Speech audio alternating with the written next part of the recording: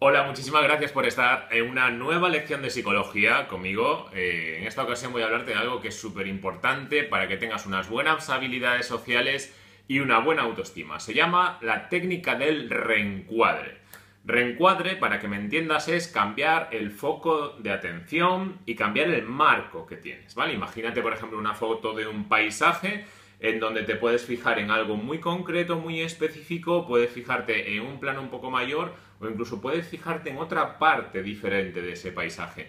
Cuando esto logramos hacerlo con la manera que nosotros tenemos de mirar las situaciones que nos pasan, conseguimos cambiar el foco de atención de algo que nos genera emociones negativas por algo que nos genera emociones negativas en menor grado, si lo vemos desde una perspectiva más amplia, o incluso algo que no nos genera emociones negativas en absoluto, esa misma eh, situación, si cambiamos nuestro foco de atención para otra perspectiva diferente. Por ejemplo, imagínate pues que te vas de vacaciones y eh, has perdido el, el, tren para cambiar de una ciudad a otra, ¿vale? Y eso hace que tengas que esperar tres horas más en la estación de tren eh, esperando a que salga el siguiente tren, ¿vale? Eh, posibilidades que tienen las personas en esta situación, pues frustrarse, cabrearse, darle patadas a la maleta, eh, enojarse, ¿vale?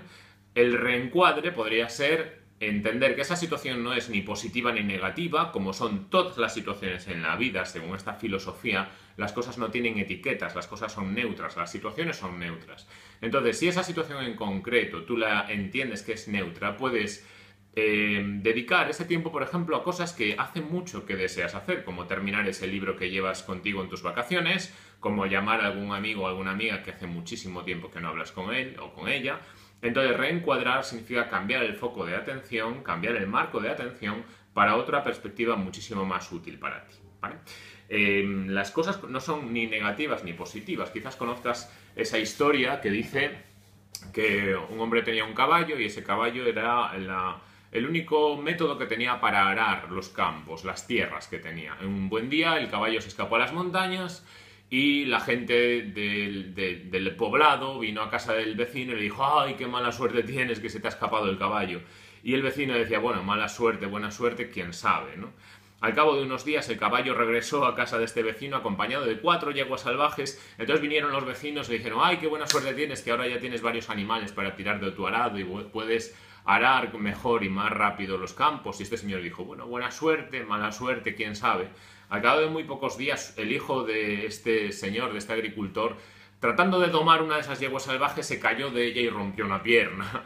Entonces vinieron los vecinos y dijeron, ay, qué mala suerte tienes que tu hijo se ha roto una pierna. Y este vecino dijo, bueno, mala suerte, buena suerte, quién sabe. Al cabo de otros, de otros pocos días vino el ejército a esa aldea y se llevó a todos los jóvenes de la aldea para ir a luchar al frente de batalla. Se los llevó a todos menos al joven que tenía la pierna rota. Entonces vinieron los vecinos y dijeron, ay, qué buena suerte tienes que tu hijo no ha tenido que ir a luchar al frente de batalla.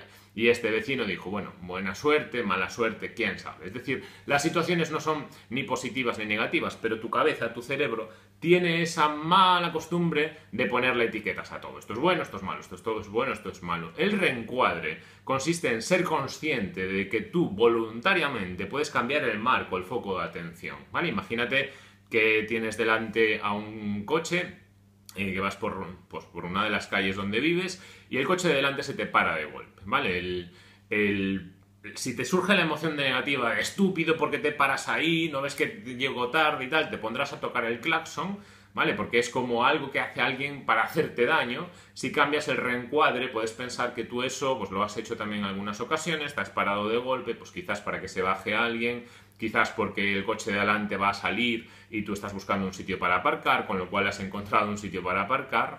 El reencuadre ahí implica ponte en la mente de, de, quién va adelante y piensa qué le puede estar pasando por la cabeza. Eso actúa sobre tus propias emociones. Me gusta mucho em, una autora que se llama Louise Hay, Louise Hay una escritora norteamericana, em, porque pone un ejemplo súper exquisito de reencuadre. Ella habla en sus libros, en uno de sus libros, de mm, la gente que se pasa toda la vida odiando a algún familiar, por ejemplo, a, sus padres, ¿no? Dice, pues eh, mis padres nunca me han querido, mis padres nunca me han tratado con cariño, mis padres siempre me... bla, bla, bla. Em, Luis Hay lo que, lo que dice en ese libro de una manera muy chula de reencuadrar la situación, ella dice, las personas somos como almas, antes de nacer, como almas que van eh, flotando por el universo y el universo es, el encargado de que nosotros nos desarrollemos personalmente, crezamos. Ella habla de mm, algo que tiene que ver quizás con la reencarnación, de que vamos evolucionando como almas.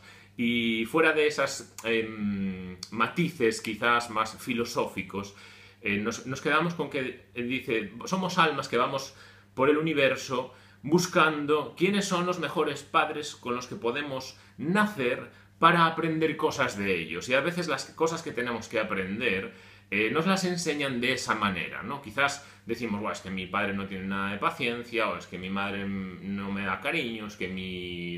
Eh, bueno, otro familiar me hace esto, ¿vale? Luis Hay dice, somos almas que vamos flotando por el universo y los padres perfectos para que aprendamos algo es donde al final nacemos, para desarrollar eso.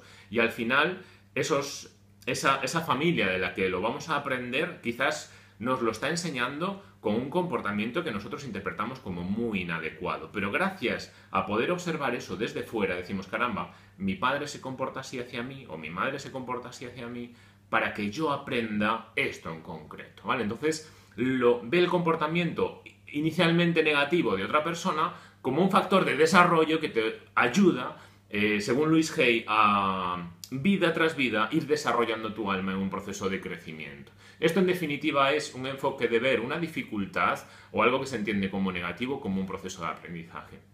Cuando yo monté la primera empresa en Santiago, eh, bueno, al cabo de muy poco tiempo la tuve que, que cerrar. La cosa, mm, bueno, no progresaba adecuadamente. Uno de los motivos fundamentales era que en ese momento, con 23 años que yo tenía entonces, no conocía para nada lo que era la delegación. La delegación hoy en día sé, que es un factor fundamental en cualquier director, en cualquier gestor de equipos de trabajo. Entonces acababa de meterme en el mundo de los negocios y lo desconocía. Entonces, eh, quizás en aquel momento hubiera sido muy negativo para mí el centrarme en no lo he conseguido, quería eh, salir adelante con una empresa que ha fracasado. Si aprovecho este reencuadre, puedo pensar, ¿de qué me sirve esto? ¿De qué me ha servido? Me ha servido fundamentalmente para aprender algo que yo no conocía, la importancia que tiene la delegación. Hoy en día, en, mi trabajo, trato con mi equipo de delegar de la manera mejor posible, ¿vale? Hay otras cosas que todavía no hago bien, esa quizás no la hago todo lo bien que podría, pero sí que es verdad que le hago muchísimo mejor que antes de ese primer fracaso. El reencuadre implica eh, ver las situaciones difíciles como, como qué puedo aprender de esto, ¿no? O para qué me puede servir esto. Incluso hay algunos libros de psicología que te hablan de que cosas muy dramáticas inicialmente o que se pueden percibir como dramáticas, como el diagnóstico de una enfermedad crónica, eh, le sirve a las personas para darse cuenta que a partir del momento del diagnóstico de esa enfermedad crónica, dicen algunas personas, han empezado a vivir de verdad o han empezado a darle de verdad significado a su vida o sentido a su vida, ¿vale? Esto quizás lo hayas visto en algunos vídeos de internet, en algunos libros, es decir, me diagnosticaron esto en concreto y a partir de ahí empecé a aprovechar de verdad la vida, ¿no? Esto es, eh, no lo tomo como algo tremendamente negativo, sino que busco el reencuadre positivo a algo que no puedo cambiar, que no tengo forma de alterar bajo mi voluntad. ¿Lo veis? ¿no? Entonces es como una manera diferente de pensar sobre una situación en concreto. Eh, habréis leído y escuchado centenares de veces que Edison trató de hacer la bombilla unas dos mil veces fracasando y él decía que no había fracasado dos mil veces, sino que había aprendido dos mil maneras en las que no se puede hacer una bombilla antes de finalmente conseguir eh, realizar ese invento que hoy tú tienes en casa seguramente, ¿vale? Entonces, eh, hemos hablado de diferentes formas de enfocar o de reenfocar, reencuadrar. Te animo a que las situaciones que tienes hoy en día en tu vida, que trates de pensar cómo se podrían reencuadrar, sobre todo aquellas que te generan emociones negativas, que influyen negativamente en cómo te sientes. Pues, por ejemplo, eh, has quedado con un amigo y eh, no aparece, te da, te da plantón. Eh, tú estás esperando en esa cafetería en la que estabas pues eh, habías quedado con esa persona y no aparece. Tiras a llamar, a llamar a esa persona y esa persona te dice que se ha olvidado, ¿no? Que se, que se ha olvidado, que no, bueno, se le ha pasado. Claro, los primeros pensamientos que se te vienen a la cabeza, tú lo sabes. ¿Cuáles son? ¿Cuáles son? Cuando alguien te da plantón y dice, se, le ha pasado, uff, es que ni me acordaba que había quedado contigo. Bueno, probablemente lo primero que se te viene a la cabeza, como eso te daña el ego, es eh, no te importo lo suficiente, si te importara lo suficiente te habrías acordado que has quedado conmigo, no me aprecias lo suficiente, bueno, algo que te ataca el ego, ¿vale? Entonces ahí tenemos un buen ejemplo de tengo que hacer un reencuadre aquí. ¿Cómo podrías hacer un reencuadre? Bueno, pues quizás mm, plantearte, bueno, me han dado plantón, ahora tengo pues una hora o dos horas por delante en donde pues de partida no, sabía, no sabría qué hacer, pero voy a tratar de aprovecharlas de una manera que me sirva, ¿vale? Eh, ya sea con cosas que no has podido hacer en otro momento, pues si llevas un libro contigo, pues es buena oportunidad, pero incluso podrías ir un poquito más allá y pensar, si lo que, lo que me está sucediendo ahora a mí es que no me siento querido, Quizás haga falta que yo refuerce mis vínculos de amistad ahora para que las personas que me rodean pues me muestren un poco más su cercanía hacia mí. Porque a lo mejor lo que está generando el entorno con este plantón es que yo no estoy haciendo sentir a mis amigos pues que estoy cerca de ellos, que les presto también atención para que luego esa atención también se me venga de vuelta, ¿no? Entonces, en esa hora o dos horas que tienes por delante, con ese reencuadre puedes pensar, mira, magnífico que no vengas, no se lo digas a esa persona, no es necesario, pero puedes pensar, magnífico que no vengas, porque así voy a tener tiempo para llamar a esta otra persona, a esta otra persona, a esta otra persona, que son personas de tu entorno que quieres, que habéis compartido un montón de situaciones agradables a lo largo de vuestra vida, pero que tú sabes que entras en contacto con ellas con baja frecuencia. Pues es ahí, utilizando el reencuadre, cuando puedes eh, aprovecharte y, utilizar ese tiempo para ello. ¿vale? Bueno, espero que te haya gustado esta explicación de la técnica del reencuadre. Desde mi punto de vista es de las técnicas que definen a las personas más sanas psicológicamente, entonces te animo a investigar un poquito más por internet sobre ella, a practicar, a aplicártela y a darte cuenta cuando la estás aplicando en tu día a día. Cuanto más frecuencia utilices, mejor te irá, ¿vale? Para finalizar el vídeo te voy a dar un truquito que leí en un libro de mm, Eduardo Jauregui que se llama Alta Diversión, los beneficios del humor en el trabajo, que te recomiendo, es un buen libro. Y él dice, él habla de la técnica afortunadamente, le llama así, la técnica afortunadamente, y, se y plantea, eh, bueno, es una técnica para hacer reencuadres, o yo por lo menos la entiendo así, plantea que en una situación que puedas interpretar como negativa, en esa situación, para hacer el reencuadre, pon afortunadamente porque y trata de determinar la situación de manera que eso que parece negativo realmente sea algo positivo, ¿vale? Por ejemplo, eh, vas por la carretera y se te pincha el coche, ¿vale?